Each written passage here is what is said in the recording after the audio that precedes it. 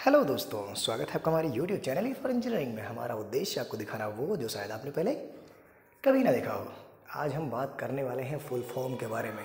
आपने देखा होगा, पाइपलाइन में बहुत सारे वर्ड ऐसे होते हैं जो शॉर्ट फॉर्म में बोले जाते हैं और उसका मैं आज आप लोगों को फुल फॉर्म बताने वाला हूँ, राइट? अगर कुछ मिस होता है तो आप बताइएगा। चलो, ज़्यादा देर ना करते हुए हम वीडियो को स्टार्ट स्टार्ट करते हैं, राइट? तो अभी मैं आपको अपने मोबाइल में शो कर शो करने वाला हूँ। हम गए गूगल ड्राइव में यहाँ पे हमने सर्च किया। S O R T some sorry some important full form right अभी देखो, हमारा स्क्रीन ओपन हो चुका है।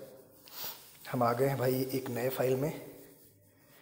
देखो, पहला पेज है हमारा important full form of short forms right ये इंपॉर्टेंट है क्योंकि बहुत सारे लोग पाइपलाइन में काम करते हैं यार, उनको वर्ड तो यूज़ करते हैं, लेकिन उनको फुल फॉर्म भी नहीं पता होता है राइट तो आप लोग समझ सकते हैं कि आधी अधूरी जो नॉलेज होती है ना भाई वो पॉइज़न की तरह होती है। तो चलो, ज़्यादा देर ना करते हुए हम स्टार्ट करते हैं। तो पहला क्या है? आर ओ डब्ल्यू क्या होता है आर ओ डब्ल्यू का मतलब? बहुत सुना है ना? जाते हो तुरंत R O W R O W R O W होता है क्या R O W right of way होता है इसका फुल फॉर्म राइट आज के बाद आपको हमेशा याद रखना है कि आर ओ डब्ल्यू का फुल फॉर्म क्या होता है? राइट ऑफ़ वे होता है। अब दूसरा आता है R O U right of use अब बहुत सारे लोगों का क्वेश्चन होता है कि आर ओ डब्ल्यू और आर ओ यू में क्या डिफरेंस होता है राइट right? तो मैं आपको बता दे, बता बता दे रहा हूँ कि आर ओ डब्ल्यू क्या होता है राइट ऑफ़ वे राइट आप का एक काम करने का जो रास्ता है ना, जैसे आप फ्लो डायरेक्शन में हमेशा काम करते हो, इसमें बहुत सारी चीज़ें मेंशन की जाती हैं, जैसे कि अगर आप जब पाइप में वेल्डर वेल्डर आईडी या वेल्डर नंबर वगैरह, उस पर जो जो भी जॉइंट नंबर का डिटेल्स वगैरह डालते हो, वो हमेशा फ्लो फ्लो डायरेक्शन में और आर ओ डब्ल्यू की साइड में डालते हो राइट और आर ओ यू का मतलब क्या होता है? राइट ऑफ़ यूज़ आपको जब टेंडर मिलता है आपकी कंपनी को तो आपके पाइप के डायमीटर के अकॉर्डिंग आपको ROU दिया जाता है कि कितने से कितने मीटर के बीच में आपको काम करना है, उस, उसी के दायरे में रह के ही काम करना है, उसके बाहर कहीं नहीं आना है आपको राइट तो ये चीज़ होती है। टीपी क्या होता है? टर्निंग पॉइंट टर्निंग पॉइंट क्या होता है? कि आपने देखा होगा, आपकी जो पाइपलाइन जाती है, मान लो कहीं गाँव आ गया बीच में, उसको खेत की तरफ़ टर्न करना है तो उस वहाँ पे किसी न किसी एंगल का एक बैंड लगाया जाता है, जिसके थ्रू हम लाइन को थोड़ा सा डाइवर्ट कर देते हैं।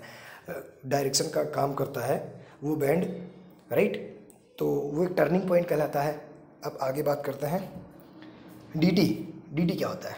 Destructive testing right destructive testing in the sense जब किसी भी पार्ट को तोड़ मरोड़ के मतलब उसे हानि पहुँचाए हानि पहुँचा कर या क्षति पहुँचा कर हम जब टेस्टिंग करते हैं ना तब वो होता है डीटी क्योंकि स्टार्टिंग में जब आपका रॉ मटेरियल का जब आ, आपका कहने का मतलब ये है कि आप ये कह सकते हो जब उसकी टेस्टिंग की जाती है तो वेल्डिंग मारने के बाद पता है उसको लैब में भेजा जाता है। तो उसको तोड़ मरोड़ के सब कुछ करने के बाद उस पर फ्रैक्चर टेस्ट करते हैं आपका टेंसाइल स्ट्रेंथ वगैरह सारी चीज़ें चेक करते हैं तो ये सब डिस्ट्रक्टिव टेस्टिंग में आता है। एनडीटी क्या होता है?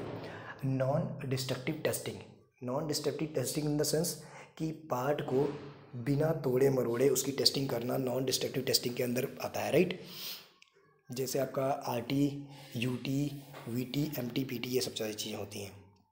अब आ गया American welding society A W S क्या होता है? अमेरिकन वेल्डिंग सोसाइटी एक तरीके की सोसाइटी होती है। इसके अपने स्पेसिफिकेशंस हैं, इसके बहुत सारी बहुत सारे पैरामीटर्स हैं इसके अंदर।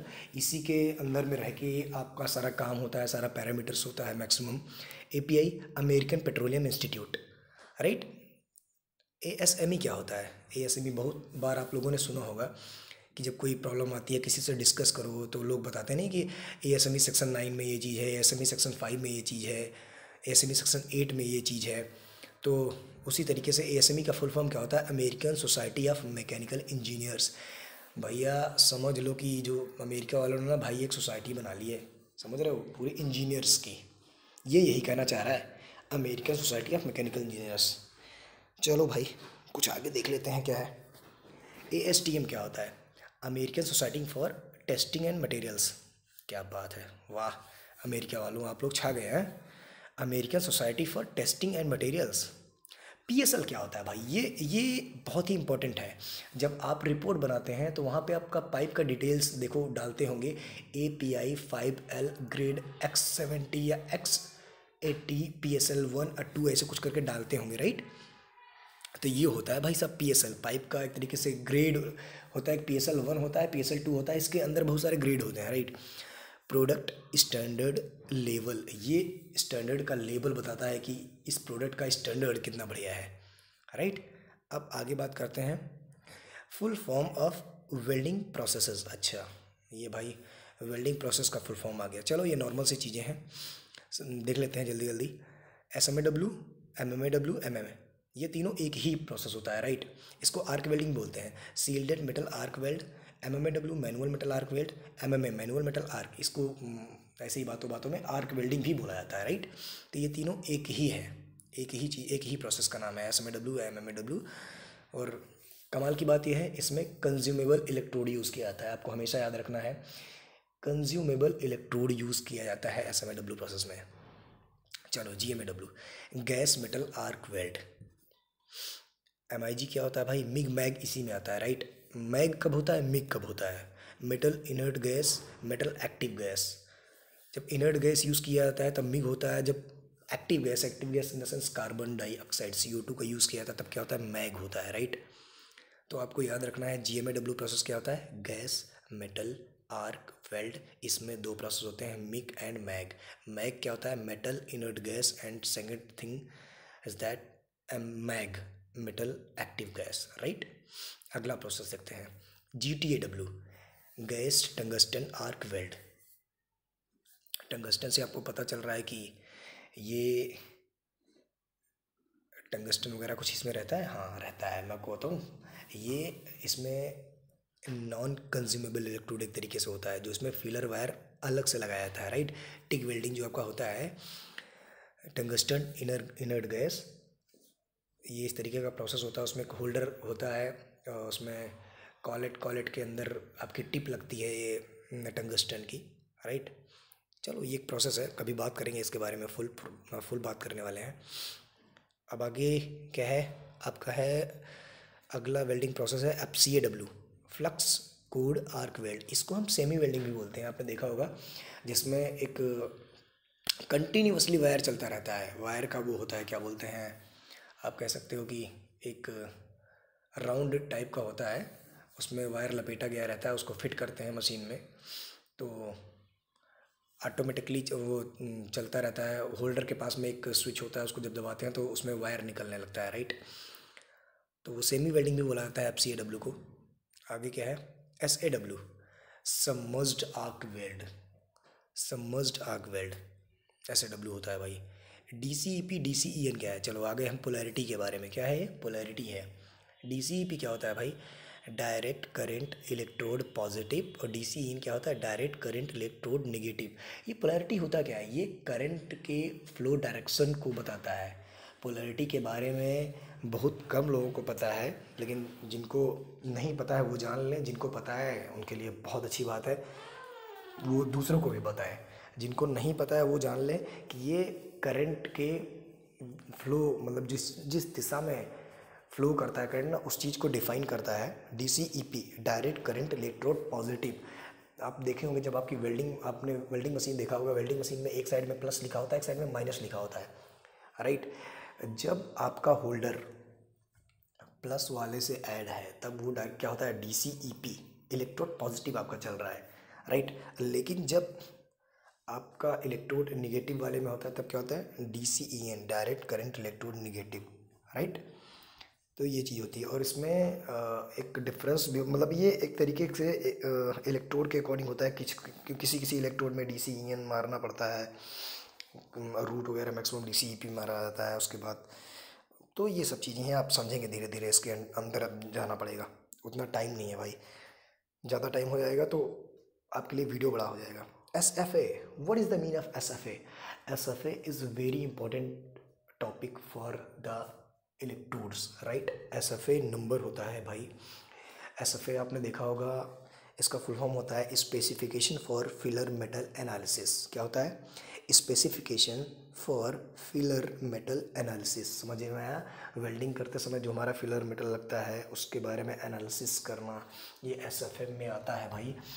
और इसमें आपने देखा होगा इलेक्ट्रोड के बगल में लिखा होता है S F A five point one five point five five point one eight five point two zero five point two nine ऐसे करके होता है ये राइट अब उसके आगे देखते हैं क्या है। आगे हम भैया P W P S proposed welding procedure specifications proposed welding procedure specifications P W P S जैसे किसी चीज़ का प्रिलिम्स नहीं होता है प्रिलिमिनरी होता है, इसी को प्रपोज्ड बोलते हैं राइट वेल्डिंग प्रोसीजर स्पेसिफिकेशंस अब आगे आपका W P S welding procedure specifications वो स्पेसिफिकेशंस जिसके अकॉर्डिंग आप वेल्डिंग कंप्लीट करते हो, जिसके अकॉर्डिंग जिसके स्टैंडर्ड को लेके वेल्डर वेल्डिंग मारता है पाइप में, वो होता है आपका W P S W P S में बहुत सारी चीज़ें मेंशन की गई होती हैं। मैंने आपको शायद बताया है W P S one W P S two W P S three four जब आप देखोगे तो उसमें पूरा सब मेंशन किया गया रहता है कि आपका वेदर कैसा होना चाहिए, आपका टेम्परेचर कितना होना इंटर पास टेम्परेचर कितना होना चाहिए, आपका प्री हीट टेम्परेचर कितना होना चाहिए वेल्डिंग प्रोसेस कौन सा है अप हिल मार रहे हो डाउन हिल मार रहे हो, क्या चीज़ें हैं वेल्डिंग पोजीशन क्या है फाइव जी है, इस तरीके से उसमें सारी चीज़ें मेंशन की होती हैं और उसी के अकॉर्डिंग ही हमें वेल्डिंग उसी पैरामीटर के अकॉर्डिंग ही हमें वेल्डिंग कंप्लीट करना होता है राइट यही होता है हमारा वेल्डिंग प्रोसीजर स्पेसिफिकेशंस एंड सबसे मोस्ट इंपॉर्टेंट थिंग आप ये समझिए कि डब्ल्यू पी एस साइड पे जो भी वेल्डर मार रहे हैं, उनके पास भी होना ज़रूरी होता है। ये बहुत ही इम्पोर्टेंट है, लेकिन यहाँ पे ऐसे ही काम होता है। आपने देखा होगा कि W P S welder welder के पास रहता नहीं है, लेकिन होना चाहिए भाई, समझ रहे हो ना? जिस भी स्टेशन पे जो भी वेल्डर वर्क कर रहा है, उनके पास डब्ल्यू पी एस होना बहुत ही इंपॉर्टेंट है। क्योंकि उनको पता कैसे चलेगा, क्या चल रहा है, कैसे, कितने पे क्या मारना है। चलो, अब आगे बात करते हैं। P Q R procedure qualification record देखो डब्ल्यू पी एस और पी क्यू आर ये थोड़ा सा एक ऐसी तरीके का डॉक्यूमेंट होता है। डब्ल्यू पी एस क्या होता है कि वो साइट पे भी बहुत ज़्यादा काम आने वाला डॉक्यूमेंट होता है, लेकिन आपका जो पी क्यू आर होता है प्रोसीजर क्वालिफिकेशन रिकॉर्ड ये एक तरीके से ऑफिशियल डॉक्यूमेंट होता है। इसका बहुत ज़्यादा काम नहीं होता है साइड पे। साइड पे सबसे ज़्यादा जो काम होने वाली चीज़ें हैं, वो है W P S right W Q R क्या होता है? वेल्डर क्वालिफिकेशन रिकॉर्ड अच्छा जब वेल्डर डब्ल्यू क्यू टी मारता है तो वहाँ पे एक क्यूसी इंजीनियर का होना बहुत ही इंपॉर्टेंट है। वो हर एक पैरामीटर जो बोलते हैं इसेंशियल वेरिएबल्स महत्वपूर्ण जो उसमें वेरिएबल्स जो वेरी करने वाली चीज़ें होती हैं, जैसे आपका हो गया ट्रेवल स्पीड हो गया करंट हो गया वोल्टेज हो गया राइट ये सारी चीज़ों को लिखता है कि according to the W P S के अकॉर्डिंग ये उतनी पोलैरिटी को लेके, उतने करंट पे, उतने ही वोल्टेज पे जितना डब्ल्यू पी एस में लिखा गया उसके अकॉर्डिंग ये वेल्डिंग कंप्लीट कर रहा है कि नहीं कर रहा है राइट ट्रैवल स्पीड भी मेंटेन करनी होती है। अब आपका आ गया, वो हाँ उसी का जो रिकॉर्ड बनता है, उसी को क्या बोलते हैं? W Q R welder qualification record उसी को हम रिकॉर्ड कर लेते हैं। डब्ल्यू डब्ल्यू क्यू टी हाँ आ ही गया, देखो। W Q T welder qualification test जब वेल्डर क्वालिफिकेशन टेस्ट के लिए हम किस हमेशा नए वेल्डर का जब वेल्डर क्वालिफिकेशन टेस्ट होता है तो वो according to the W P S he welding मारता है। और उसका जो हम पूरा रिकॉर्ड रखते हैं कि हाँ हम पूरा राइट डाउन करते जाते हैं एक डायरी में लेके कि ये ये इस तरीके से वेल्डिंग को मारा है इतने इतने पैरामीटर्स पे, जिसमें ज़्यादा गैप नहीं आना चाहिए। राइट उसके पैरामीटर्स में मतलब ज़्यादा टोलरेंस नहीं होना चाहिए, ऊपर ज़्यादा, ऊपर नीचे ज़्यादा नहीं होना चाहिए, थोड़ा वाला रहेगा तो चलेगा, क्योंकि एग्जैक्ट तो कोई नहीं मारता है। तो ये एक दूसरे के एक तरीके से सपोर्टिंग डॉक्यूमेंट्स होते हैं राइट चलो welder qualification test W Q T welder qualification test वही होता है। जब किसी वेल्डर को क्वालिफाई करने के लिए उसको एक टेस्ट मारना पड़ता है, वही होता है welder qualification test right E Q T electrode qualification test हाँ भाई इलेक्ट्रोड को भी क्वालिफाई करवाने के लिए उसका भी टेस्ट होता है राइट तो वो क्या होता है? इलेक्ट्रोड क्वालिटी टेस्ट होता है। टी सी पी वाह, क्या बात है।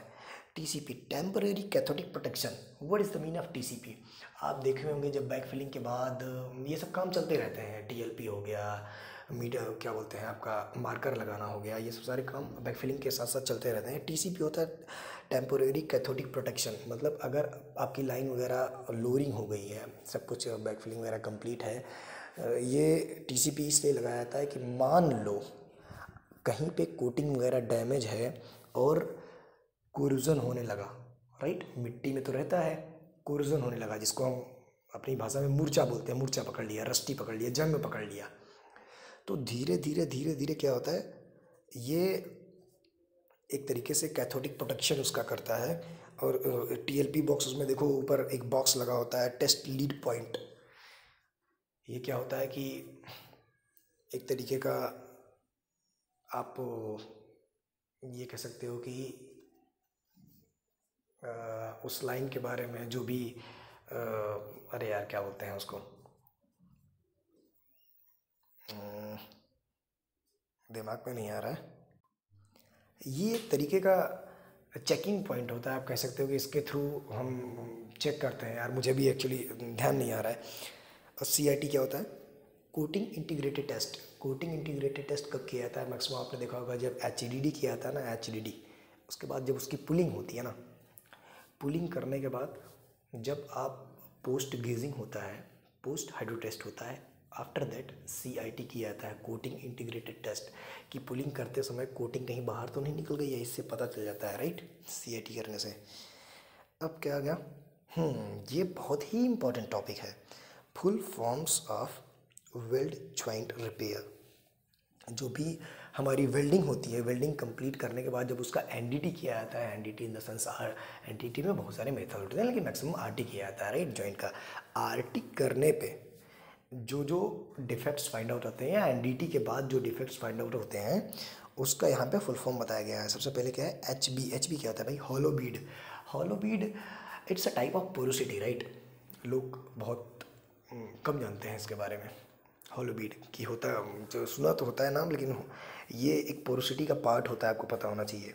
ये रूट में आता है मैक्सिमम होलोबीड राइट एयर की वजह से एयर गैप बनता है वहाँ पे तो वो होलोबीड कहलाता है। बीटी क्या होता है? बर्न थ्रू बर्न थ्रू क्या होता है भाई? बर्न थ्रू आता कब है? जब वेल्डर हाई टेम्परेचर पे राइट हाई टेम्परेचर पे वेल्डिंग मार रहा है, टेम्परेचर हाई है, उसका ट्रैवल स्पीड अगर कम हो गया तो क्या होगा कि इलेक्ट्रोड वहीं पर घुस जाएगा थ्रू कर जाएगा आर पार। तो वही होता है बर्न थ्रू राइट और बर्न थ्रू आने के एक चांसेस ये भी होते हैं कि वेल्डर अगर नए नए होते हैं तो वो भी बर्न थ्रू बहुत मारते हैं, राइट? तो इसके लिए, इसके प्रिवेंशन के लिए क्या करना है कि हमें करंट और वोल्टेज को अपना मेंटेन करके चलना है और ट्रेवल स्पीड को भी मेंटेन करके चलना है। और भाई, वेल्डर को दोबारा से बोलना है कि अब भाई आप ट्रेनिंग करो, उसके बाद फिर से वेल्डिंग मारो, राइट? आईपी आ गया भाई। Incomplete penetration. आपने देखा होगा रूट में पेनिट्रेट पेनिट्रेशन जो होता है ना रूट रूट में ही, ये सब सारी एक्चुअल में प्रॉब्लम आती है। पेनिट्रेट उसको अच्छे तरीके से करना चाहिए। रूट से कम से कम दो एम mm तक बाहर निकलता है ये। बढ़िया से पेनिट्रेट होना चाहिए। तो इनकम्प्लीट पेनिट्रेशन आता कैसे है? मैं आपको बताऊँ। इनकम्प्लीट पेनिट्रेशन आएगा तब जब आपका रूट फेस बड़ा होगा। अगर रूट फेस आपका ज़्यादा बड़ा है, तब इनकम्प्लीट पेनिट्रेशन होने के ज़्यादा चांसेस होते हैं। Root face right? Root gap बहुत ज़्यादा कम होता है, फिर भी होता है, लेकिन रूट फेस का इसमें सबसे ज़्यादा मैटर करता है। रूट फेस और लो इलेक्ट्रिक करंट। अगर आपने करंट भी बहुत स्लो करके मार रहे हो और लो मतलब लो करंट पे मार रहे हो और रूट फेस अगर ज़्यादा है, मोटा है, राइट? तो ये प्रॉब्लम आपको देखने को मिलेगी कि आपको इनकम्प्लीट पेनिट्रेशन मिलेगा। एक्सेस पेनिट्रेशन क्या होता है? एक्सेस पेनिट्रेशन मतलब ज़्यादा पेनिट्रेट कर जाना, जैसे बोलते हैं ना, लेंस लटक गया जॉइंट मारते हो तो मतलब वेल्डिंग मारते समय रूट में नीचे लेंस टाइप का बन जाता है ना? एक्सेस पेनिट्रेशन मतलब ज़्यादा पेनिट्रेट हो जाता है। ज़्यादा पेनिट्रेशन का मतलब क्या है? कि अगर आपका रूट फेस कम है, और यहाँ पे भी करंट मैटर करता है, अगर हाई वोल्टेज पे है तो रूट का पेनिट्रेशन ज़्यादा हो जाता है राइट तो एक्सेस पेनिट्रेशन ही कहलाता है। एल क्या होता है? लैक ऑफ़ फ्यूज़न बोलते हैं। Lack of fusion in the sense जो एरिया फ्यूज़ नहीं होता है, वो छूट जाता है, वही होता है lack of fusion lack of fusion तीन टाइप के होते हैं ढाई राइट देखो रूट रूट फ्यूज़न होता है, पहला चीज़ रूट से चलते हैं रूट फ्यूज़न होता है, दूसरा होता है interpass fusion inter run fusion आप कह सकते हो, जब आप बीच में वेल्डिंग मारते हो ना इंटर रन मारते रहते हैं तो वहाँ पे अगर गैप हो गया या कुछ चीज़ें ऐसी हुई जो मतलब मटेरियल वहाँ पे अगर फ्यूज़ नहीं हुआ अच्छे से तो वहाँ पे क्या होता है कि वो इंटरन फ्यूजन एक होता है साइड वॉल फ्यूजन राइट कभी कभी क्या होता है मेटल अच्छे से चिपकता नहीं है मतलब अच्छे से मेल्ट नहीं हो पाता है साइड में तो वहाँ पे स्पेस बन जाता है तो क्या होता है साइड वॉल फ्यूज़न वहाँ पे फ्यूज़ नहीं होता है। जीआरएस क्या होता है भाई? जीआरएस होता है grinding result right grinding result ये होता है जीआरएस ये भी एक तरीके का पोरोसिटी मान के ही इसका मतलब इसका रिपेयर किया जाता है अटेंड किया जाता है।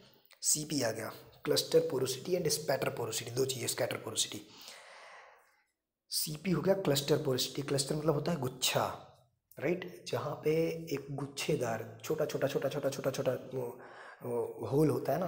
एक, मान लो कि एक एक ऐसा आपको पोजीशन मिला, एक ऐसी जगह मिली जहाँ पे थोड़ी दूर में, लेकिन खूब सारे क्या हैं? होल हैं राइट तो क्या है क्लस्टर पोरोसिटी में आएगा राइट अब एस पी क्या होता है? Scatter porosity scatter porosity in the sense कि तितर बितर थोड़ा मतलब इधर, उधर इधर, उधर आपको होल दिख रहा है राइट तो क्या आता है? स्कैटर पोरोसिटी होता है। पोरोसिटी मैक्सिमम आता क्यों है? मैं आपको बताऊँ। आपका इलेक्ट्रोड अगर बढ़िया नहीं है, तब पोरोसिटी आएगा, पहली चीज़। दूसरा चीज़, अगर ज़्यादा मतलब कहते हैं ना कि जो इंटरपास टेम्परेचर होता है ना, अगर इंटरपास टेम्परेचर अगर आपका ज़्यादा हो गया राइट मैक्सिमम इंटरपास टेम्परेचर जो रखना चाहिए, ढाई सौ रखना चाहिए। मैक्सिमम इससे ज़्यादा नहीं होना चाहिए। अब इसमें कोई हीट करके थोड़ी जब आप वेल्डिंग मारते रहते हो ना, तब देखो हीट होता है वो। आपकी, आप इतना कोशिश करो कि अगर ज़्यादा हीट होता है तो उसे कुछ देर के लिए छोड़ दो, ठंडा होने के लिए छोड़ दो राइट उसके बाद वेल्डिंग मारो। आपका प्री प्री हीट टेम्परेचर कितना होना चाहिए? मिनिमम हंड्रेड डिग्री सेल्सियस होना चाहिए। प्री हीट टेम्परेचर आपका मिनिमम हंड्रेड डिग्री सेल्सियस होना चाहिए और इंटरपास टेम्परेचर मैक्सिमम ढाई सौ डिग्री सेल्सियस होना चाहिए, ठीक है? तो इसकी वजह से पोरोसिटी आती है और आपको ये एक बात ध्यान रखना है कि इलेक्ट्रोड स्टोरेज पे बहुत ध्यान देना है कि इलेक्ट्रोड का जो स्टोर आप इस इलेक्ट्रोड रख रहे हो ना, उसको बहुत ही अच्छी तरीके से रखो। राइट? उसमें नमी नहीं होनी चाहिए, क्योंकि उसकी कोटिंग का ना बड़ा प्रभाव पड़ता है भाई। कोटिंग जब आप यूज़ करते हो इलेक्ट्रोड को तो उसका जो कोटिंग होता है ना, देखो किसी किसी में ब्राउन कलर का होता है, किसी में वाइट कलर का होता है, वो क्या होता है कि डस्ट ये कंटामिनेशन से बचाता है, जो एयर ये एयर पोल्यूशन वगैरह होता है, उससे कंटामिनेशन से वो जो मेल्ट होता है ना मेल्ट मटेरियल उस, उसको बचाता है, राइट? हाँ लास्ट में आ गया भाई R U C R U C क्या होता है? Root undercut right? और R C root concavity root concavity root undercut ये सब भी खास करके मैक्सिमम करंट की वजह से ही आता है। तो आपको ये सब चीज़ें थोड़ी सी ध्यान देनी है भाई साहब की। अगर आप वेल्डिंग मार रहे हो और तो इतना आपको ध्यान देना है कि आर यू सी ना आए रूट अंडर कर तो आना ही नहीं चाहिए यार। ये सब तो बहुत छोटी छोटी प्रॉब्लम है। अगर इतने में भी ये सब चीज़ें आएँगी तो फिर बहुत ही दिक्कत है। और एक चीज़ होता है gas pore right gas pore क्या होता है? ये इंडिविजुअल पोरोसिटी होता है राइट गैस पोर आपका इंडिविजुअल पोरोसिटी में आता है, इसका क्राइटेरिया होता है, अगर उस क्राइटेरिया की ये इससे बड़ा निकल गया तीन एम राइट तीन एम से अगर ये बड़ा निकल गया तो ये समझो कि फिर ये रिपेयर दे दिया जाएगा राइट समझ रहे हैं आप? तो उसमें फिर रिपेयर दे दिया जाता है। और आपका जैसे कि कुछ चीज़ें होती हैं, जैसे आपको मैं बताना चाहूँ एच क्या होता है भाई? एच डी डी का फुल फॉर्म क्या होता है? हॉरिजेंटल डायरेक्शनल ड्रिलिंग होता है राइट अब अब आपका आता है, मेरे हिसाब से तो बाकी कुछ बच नहीं रहा है। देखेंगे, अगर कुछ बचेगा तो आप बताइएगा क्या बच गया है, क्या नहीं बचा है राइट उसके अकॉर्डिंग हम देख लेंगे, बात कर लिया जाएगा। इनकम्प्लीट पेनिट्रेशन के चांसेस क्या क्या होते हैं? किसकी वजह से इनकम्प्लीट पेनिट्रेशन आता है? देख लो। लो हीट इनपुट रहेगा, तब आएगा एक्सेसिव थिक रूट फेस अगर उसका रूट फेस बड़ा है, तब आएगा। राइट अगर लो करंट डेंसिटी का आप मार रहे हो इलेक्ट्रोड कहते हैं ना कि ज़्यादा बड़ा इलेक्ट्रोड है, फिर भी आएगा, क्योंकि रूट में मारते हो तो आप देखते हो कि रूट में बहुत ही तरीके से मारना पड़ता है भाई। अब आपका आता है कि lack of root fusion right lack of root fusion क्या होता है भाई? कि रूट में अगर आपका रूट अच्छे से फ्यूज़ नहीं होता है तो वो right lack of root fusion अभी बात तो की थे इसके बारे में। खैर, चलो, हो सकता है कि आपको ये वीडियो बहुत पसंद आया होगा। अगर आपको मेरा कंटेंट अच्छा लग रहा है भाई तो मेरा वीडियो देखो, मेरे वीडियो को लाइक करो, मेरे वीडियो को शेयर करो, ढंग से शेयर करो। मैं आप लोगों के लिए बहुत ही इंपॉर्टेंट इंपॉर्टेंट टॉपिक लेके आने वाला हूँ। इस चीज़ की मैं गारंटी दे सकता हूँ यार, कि अगर आप मेरे वीडियो देखते रह गए ना तो मैं आपको एक बेहतरीन क्वालिटी इंजीनियर बना के छोड़ूँगा। गारंटीड गारंटीड मतलब गारंटीड आपको आने वाले टाइम में वो हर एक चीज़ों की नॉलेज रहेगी, जितना बहुत सारे लोगों को नहीं होती है भाई।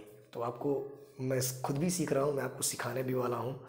और मेरे जो चैनल का नाम है, वो है E for engineering capital E आप स्पेस दीजिए मैथ वाला फोर लिखिए, फिर से स्पेस दीजिए, फिर E engineering E N G I N double E R I N G right E for engineering पे जाइए सब्सक्राइब करिए, वहाँ पे बेल आइकन दिखेगा, उसे आप प्रेस करिए ऑल पे प्रेस प्रेस करिए, ताकि जितना भी मेरा वीडियो है, वो आपको सामने से दिखे। आप हमारे वीडियो को देखिए, उससे नॉलेज लीजिए राइट और आगे इंटरव्यू दीजिए। आगे इंटरव्यू दीजिए और इंटरव्यू को क्रैक करिए और ज़्यादा सैलरी पाइए। राइट मेरा मोटिव यही है कि आप लोग मेरे वीडियो से सीखो और आगे जाओ और अच्छा पैसा कमाओ। होप सो आपको वीडियो पसंद आया होगा दोस्त। चलो thank you thank you so much thanks for watching this video thank you thank you so much